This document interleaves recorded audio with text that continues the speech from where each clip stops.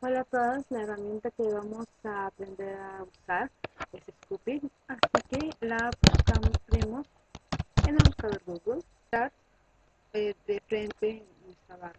Pero bueno, démosle clic a la primera opción, podemos entrar por nuestra cuenta de Facebook o por nuestra cuenta de Twitter o incluso crear un nuevo cuenta. Pero vamos a entrar por Facebook ya que la mayoría de nosotros lo tiene y nos va a resultar mucho más sencillo.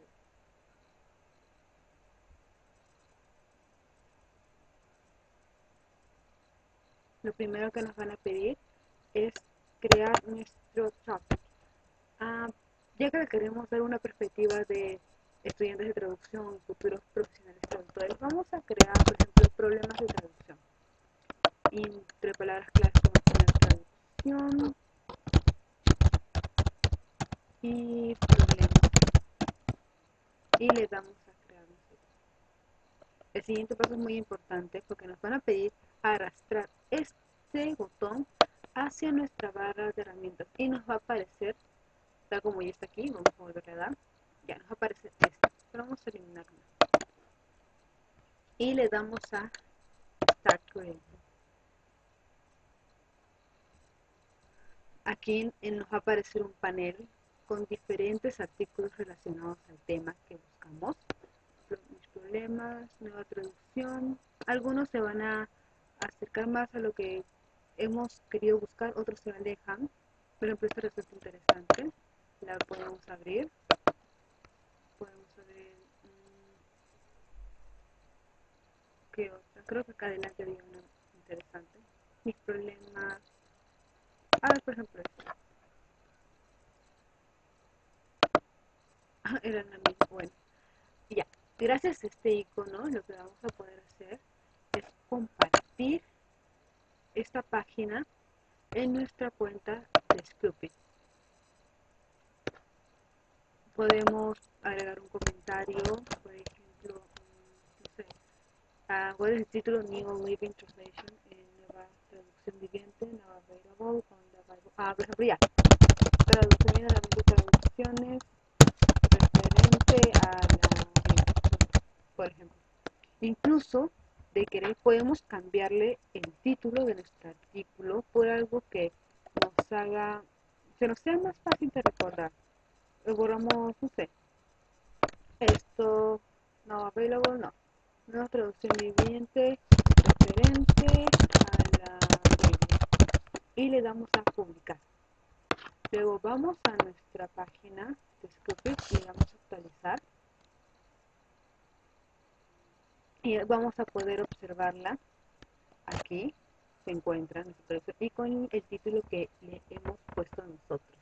Incluso podemos modificar las, los artículos o lo que se dice dentro del artículo. Pero no solamente vamos a poder entrar mediante los links que nos aparecen aquí sino por ejemplo vamos al buscador y busquemos malas traducciones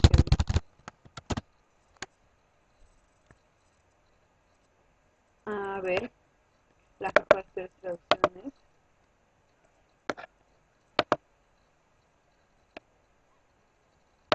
O otro tema que nos interese, abramos. También desde aquí, las mejores peores traducciones en español.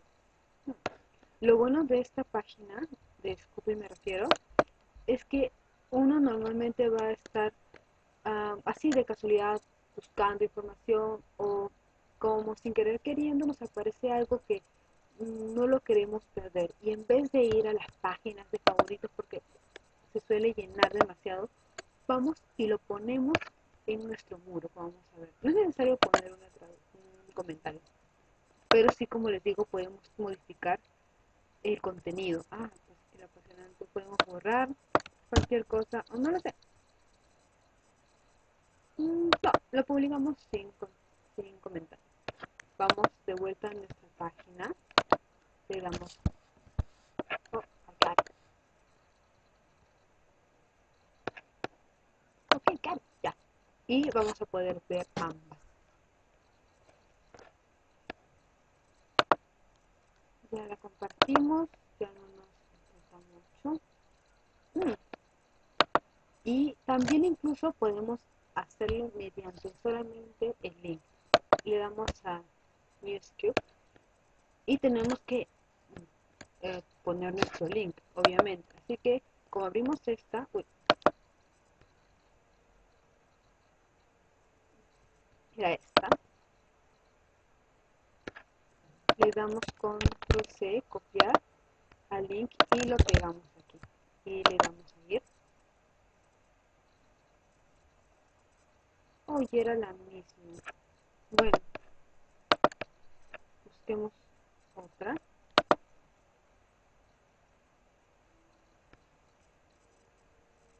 Ya.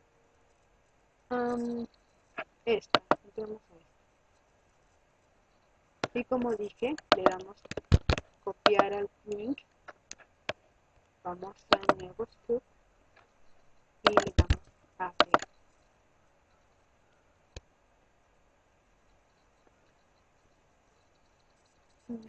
tengamos un título de fotos porque resulta um, irrelevante. Agregamos un comentario um, simplemente digamos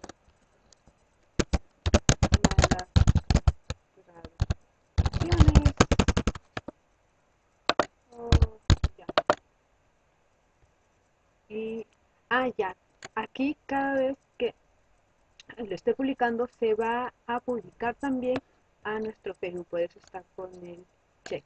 Pero si le dejamos de dar el check, no se publica. Pero vamos a darle para que se publique, para que luego puedan ver. Y le damos a publicar.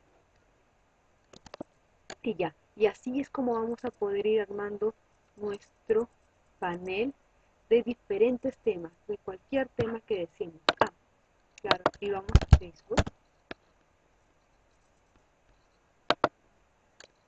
Vamos a y vamos a ver que ya de inmediato se ha posteado todo lo que hemos puesto.